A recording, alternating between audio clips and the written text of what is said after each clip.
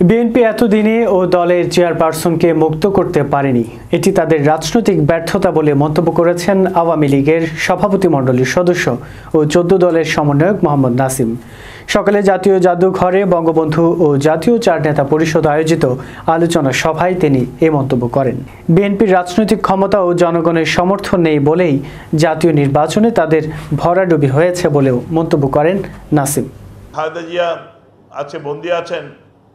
আত্মতার মাধ্যমে আমাদের দ্বারা তিনি বন্দী হন নাই। দুর্নীতির কারণে তাকে ওয়ান সরকারের দেওয়া মামলায় তাকে আজকে দণ্ডিত হয়েছেন এখানে আমরা কেউ কিছু করি নাই, করার কোনো সুযোগ নাই। কিন্তু তাদের দলের ব্যর্থতা হলো এটাই, তাদের নেতৃবন্দী আছে প্রায় এক বছর হয়ে গেল।